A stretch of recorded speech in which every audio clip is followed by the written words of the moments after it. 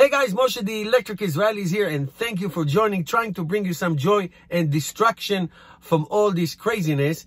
Uh, like I said in my previous videos, I'm waiting for my Model Y, which is stuck somewhere in California. Uh, so uh, I'm going to make a lot of videos just when I get it because I want uh, to share it with you and I want you to uh, be distracted by, by, by all the craziness that's going on. So don't forget to subscribe, hit that notification bell uh, because so you get all the notifications when I make a video. Now, interestingly enough, uh, there are videos surfacing that uh, some Tesla Model 3s are now uh, stopping in red lights. Now, I made 10,000 videos on autopilot. There, I have a whole uh, playlist. You can go to my channel and find so many.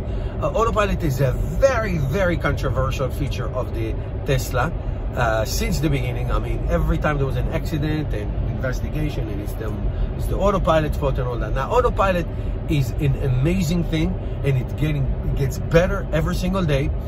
Uh, I have on the Model 3 the enhanced autopilot, so I have uh, navigate on autopilot and all that. I do not have the full self-drive.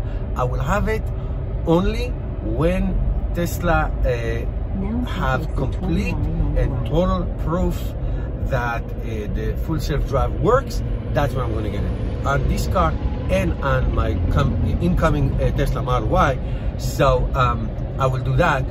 But I, I have to say, since I own this car almost 15 months now, every week, every month, the uh, autopilot is improving. So if I drive this car and uh, navigate on autopilot and the car will exit itself into you know into the exit and it will get to a, a light or or a stop sign it will stop.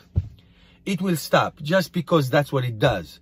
Uh, now on street street driving, the Tesla, uh, apparently people start to report and show videos that the Tesla uh, do stop on, on uh, uh, lights, traffic lights. That's another step in the long journey of full self-drive, which is really Tesla's real business model, the full self-drive, because that will open up markets that are unbelievable. So, um, like I said, me, myself, uh, had a lot of issues with with the autopilot, but it is exponentially safer and better. And I only, I cannot see myself uh, not using uh, autopilot.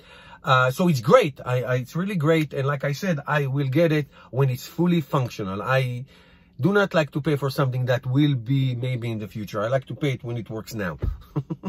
Let me know what you think, guys. I'll be I actually do if you have a Model 3 or Model S, whatever, do you have the full self-drive? And if you have it, why do you get it? Or if you're not, are you waiting for it? Will you get it in the future? That'll be interesting conversation. Put your comments below. Don't forget to subscribe. Help me change the world one electric car at a time, and I'll see you tomorrow.